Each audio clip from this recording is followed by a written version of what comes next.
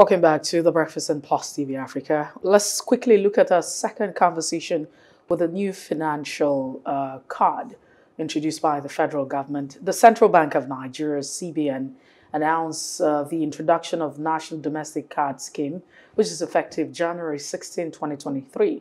The move is aimed at promoting stability, inclusion, growth in the financial and payment system, and will be delivered through Nigerian Interbank Settlement System. That's the NIBSS PLC, which is in the country's central switch in conjunction with Bankers Committee and other financial ecosystem stakeholders. The card scheme was also expected to foster innovation within, or is expected to foster innovation within the Nigerian domestic market while enabling African and international interoperabilities, allowing banks and other institutions to offer variety of solutions, including debits, credit, virtual, loyal, and tokenized, tokenized cards, among others. The bank also said that uh, domesticating the card scheme would further enhance data sovereignty, enabling development of locally relevant products and services and reduce demands on foreign exchange. Nigeria has now joined a growing list of countries including India, Turkey, China, Brazil as leading examples which have launched domestic card schemes and harness the transformative benefits for their respective payment and financial system, uh, particularly for the underbanked. We're now being joined by an economist, uh, specialist, Ubona Ukuku. Ubona Ukuku, if you can hear me, thank you for joining us. Ubona Ukuku, can you hear us? Well, uh, I think that we seem to have lost connection with Obona Ukuku or at this point in time, unfortunately. But uh, I, I, was just hoping that we would have him, and so we talk about what this means. You know, what, what does this really mean uh, for us as a country, and how does this affect us as an economy? Uh, what are the pluses and the minuses, if you like to say, in all of this? But uh, Unfortunately, that's not. Uh, Kofi, what are your thoughts? Nigeria seems to be joining the world. China, Brazil is on the list. We're, we're doing great things in this country. Absolutely, absolutely. Um, I, I, have no uh, no idea what exactly um, this this domestic national domestic card scheme is meant to achieve, and I was hoping that our guests would do justice to that. But all I can say is that um, you know Nigerians are um, uh, would look at this with a with um, a hint of suspicion. Yes, a hint of suspicion. You know, with a that's that's natural penchant to doubt and suspect everything government does. Why not? Do they want to take more money from us? Are they going to tax us more? I mean, you, you, transfer money, you transfer money to me. Mercy, we can do a practical now. Send me some money. Don't don't get me paid. No, no, let's do some practical. Send me some money. Just take your phone and do uh, star whatever whatever your bank has as yours. It's the same money. You'll see that 25, at least 25 now will be taken That's immediately. Okay. Immediately. Just like that. Then they take 10, uh, 50 kobo or something like that.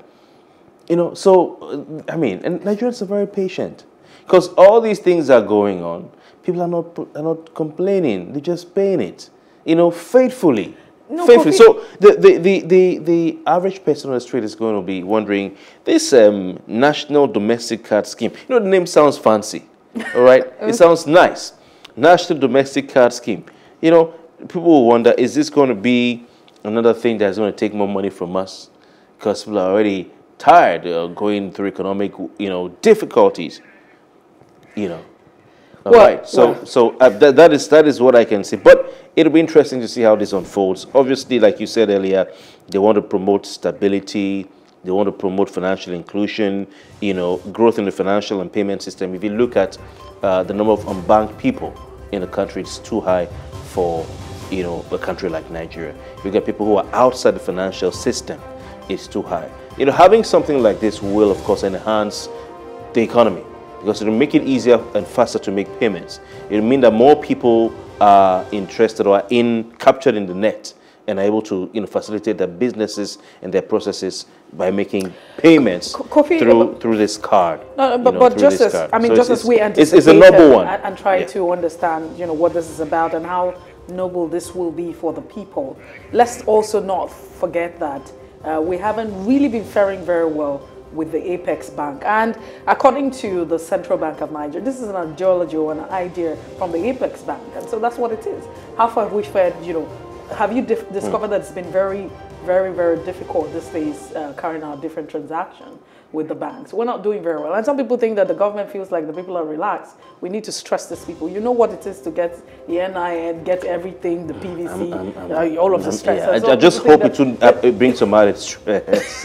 you know, we don't need more stress. But, you know, the, the fintech sector in the country is doing so well.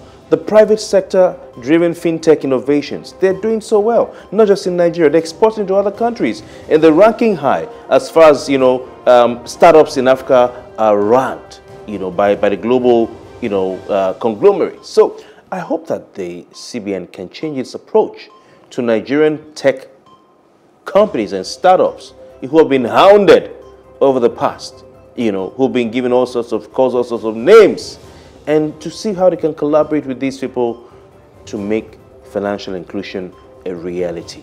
We well, have to go, Mercy. Well, that's the size of our conversation this morning on The Breakfast. Uh, we appreciate your time uh, being with us from 7 o'clock up until this moment. We'll definitely return tomorrow with more interesting conversations. We appreciate you. And if you missed out on any part of it, you're just joining, it's all right to follow us on Facebook, Twitter, and Instagram. And do subscribe to our YouTube channel. We're at Plus TV Africa and Plus TV Africa Lifestyle. My name is Mercy Ebokpo. Have a fantastic. And my name is my name is Kofi Bartel Soups Mercy. Sorry, and uh, we hope that as we're stepping out of the office, we'll not be stepping into flood, since they said VI is part of the place in Victoria Island. Uh, we'll return tomorrow. Good morning. Have a nice day.